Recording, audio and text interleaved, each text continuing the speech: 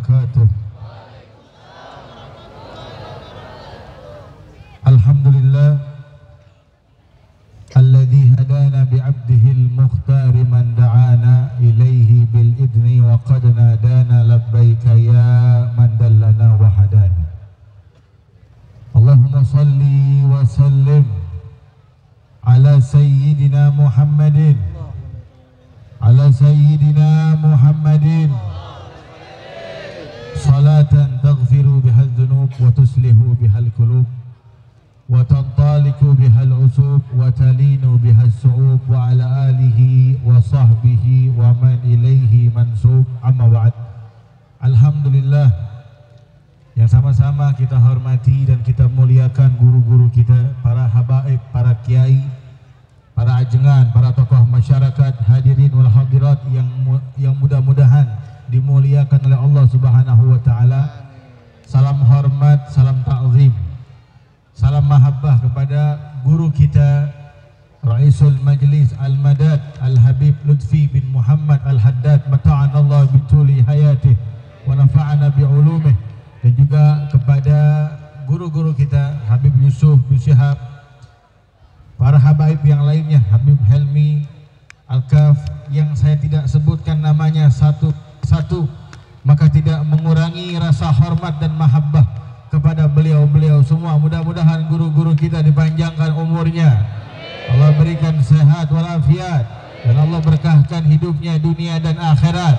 Amin ya rabbal alamin. Alhamdulillah.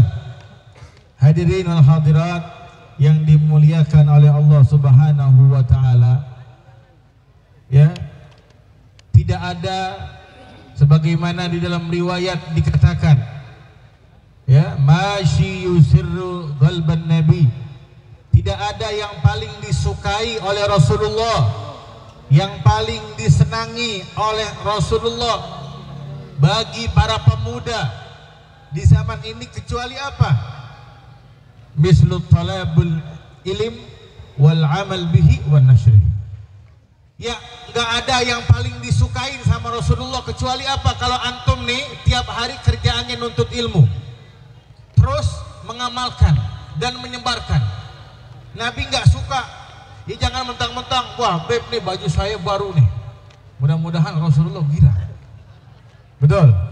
Beb motor saya baru beb cewek saya baru ini beb. Enggak yang paling disukain sama Nabi Muhammad apa? Tatkala para pemuda menuntut il ilmu. Habis nuntut ilmu apa? Amalin. Ngamalin ini jangan sama orang sama ente sendiri ente habis belajar sama guru nih. Belajar apa? Belajar fikih. Belajar wudhu amalin dulu. Bagaimana tadi diajarin wudhu sama guru kita? Bagaimana diajarin sholat sama guru kita? Amalin dulu. Buat diri sendiri. Kalau di dalam kitab Sofatul Zubat Al-Imam Ibnu Ruslan beliau mengatakan wa kullu man bi ghairi ilmin ya'malu. A'maluhu mardudatun la tuqbalu. Orang kata Imam Ibnu Ruslan bilang apa orang kalau punya ilmu ya siapa orang yang beramal kata wa kullu man bi ghairi ilmin ya'malu Siapa orang yang beramal tanpa didasari dengan ilmu, maka semua amalannya tertolak. Enggak diterima oleh Allah Subhanahu wa taala. Sekarang kita pikirin, udah berapa tahun kita sholat? Udah berapa tahun kita beramal? Yakin nggak amal kita diterima?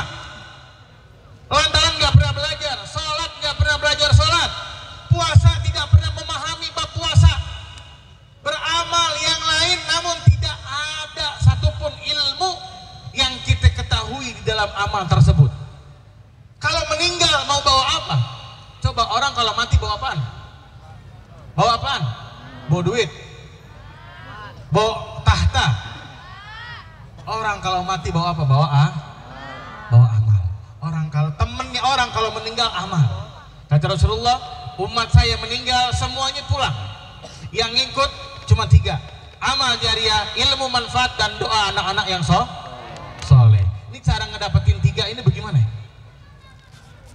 bagaimana pengen punya amal lantaran nggak punya ilmu bagaimana pengen punya anak yang soleh soleha bagaimana pengen punya anak yang soleh namun kita nggak ngedidik mereka Karena kita nggak punya.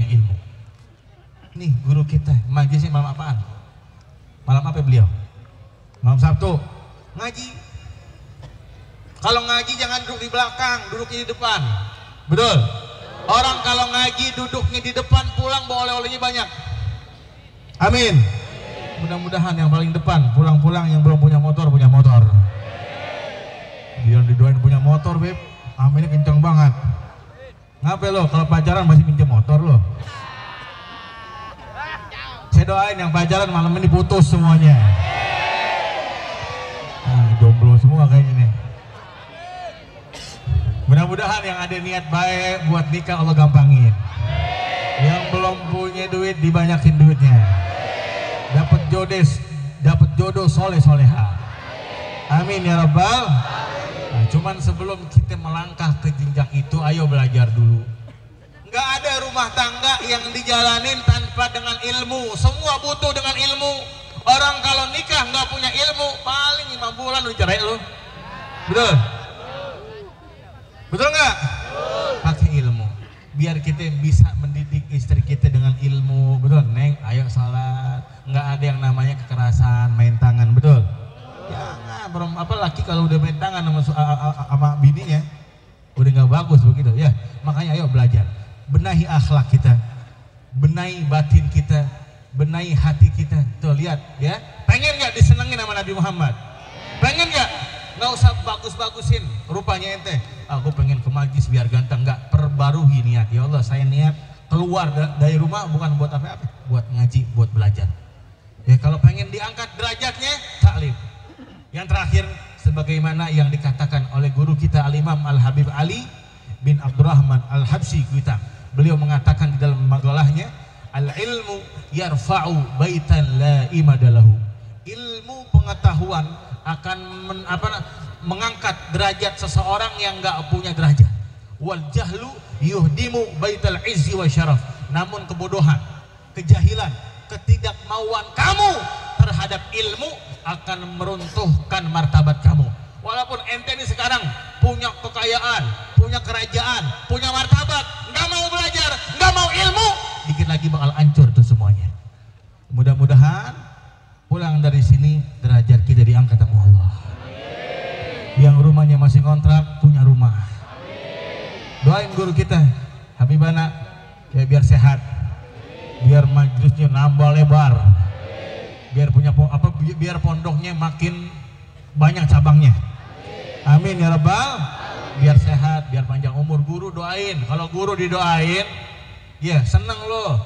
Murid yang goblok, murid yang nggak pernah ngedoain doa apa gurunya. Ngaku saya cinta sama guru saya nggak pernah ngedoain loh. Habis sholat salam-salam nganggo sejadah, doain dulu gurunya. Ya Allah saya punya guru, doain. Ya Allah biar panjang umur. Ya, biar panjang oh biar banyak duit tuh doain kalau guru banyak duit murid girang betul nggak guru kalau banyak duit murid gi girang nggak ada guru yang pelit. Yang ada murid yang pelit tuh begitu betul. Eh, iya. Gurunya muridnya gajian nggak ada yang ngasih guru. Betul nggak? Ini anak satu ada yang kerja nggak? Lo kalau pada gajian kasih Habib jangan cepet. Pelit lo gope nih Beb tiap bulan lumayan betul. Nah, iya, orang kalau ngasih gurunya berkah. Setiap ada pengeluaran pasti ada pemasuk. Intinya jangan pel pelit. Guru udah ngasih ilmu, udah ngasih kita nasihat, masa kita diemin aja? Doain. Kalau perlu keluar yang, eh, apa yang ada di kantong kita. Beb, nih saya ada gajian beb. Doain beb. Sekarang saya bisanya ngasih 500 ribu, doain. Saya tahun depan ngasih apa? Bulan depan saya kasih satu juta. Amin. Kalau ente bisa ngasih satu juta, berarti apa? Bertambah keuangan ente, betul nggak? Eh, iya. Tadinya saya bisa ngasih cepet doang, naik lagi 200 ribu, betul? 300, gope sampai satu juta. Kalau orang udah bisa ngasih satu juta sama gurunya, berarti apa? Keuangannya bertambah, bertambah. Mudah-mudahan yang punya duit ditambahin duitnya. Ingat, jangan lupa belajar, ya. Al-madad adalah gadril masyhad. Tuh, lihat, ya keberkahan bakal datang ya keberkahan bakal datang sesuai prasangka kita tadi dari rumah niatnya apa di sini tadi antum dari rumah prasangkanya apa ya kalau kita dari rumah wah ini malam ada acara nih Al-Madan. Ya. Niat ya Allah dengan keberkahan ulama yang hadir ya Allah buang dosa saya. Ya Allah, dengan apa? Dengan ulama yang hadir, dengan keberkahan majelisnya, dengan keberkahan orang-orang yang ada di situ ya Allah, angkat derajat saya. Insya Allah pulang bakal dapat tuh semuanya. Betul? Iya dulu nih ada orang, ya ada saya diceritain sama saya punya guru Al Habib Abdurrahman bin Syekh Al Attas. Beliau bilang saat rohani, beliau bilang, nih nanti kata beliau, di misan, tahu misan, pertimbangan amal.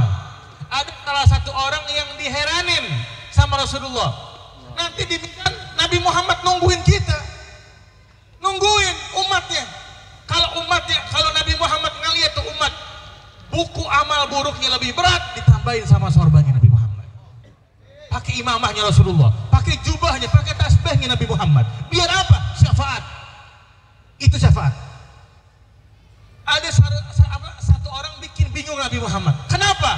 Saya punya guru bilang, ada satu orang cuman ngasih buku baiknya doang. Nabi bilang, eh buku buruk ente mana? Kok nggak ada? Ke mana buku buruk ente? Nggak ada ya Rasulullah. Anda cuma megang buku baik doang. Ditanya sama malaikat, wahai malaikat, kenapa orang? Ya Jibril, kenapa ini orang? Ya Rasulullah, dulu ini anak kalau hadir majlis, hadir apa tempat-tempat baik, dia selalu niat dalam hatinya ya Allah berkah majlis yang saya hadiri lebur dosa saya sehingga dia mati nggak bawa dosa. Sallu ala Muhammad. Diprasangka baik tuh sama tempat yang dihadirin. Ada ulama, ada habaib, ada orang-orang soleh dengan keberkahan itu semua niatnya sampai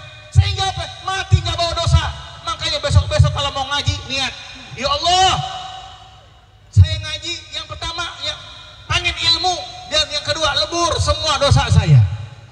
Gak usah minta yang lain. Kalau dosa udah, udah diampunin semua dikasih sama Allah. Amin. Ya besok-besok ngaji ya Allah, saya pengen ngaji. Ini niat tanamin niat. Ampunin dosa saya sehingga insya Allah kita mati nggak bawa dosa. Amin ya Rabbal. Rabbi fanfa'na bi barakatihim. Wahdina husna bi hurmatihim. Wa amitna fi tariqatihim. Wa mu'afati min fitani. Sallallahu alaihi sayyidina Muhammadin wa ala alihi wa sahbihi sallam. Walhamdulillahi rabbil. Assalamualaikum.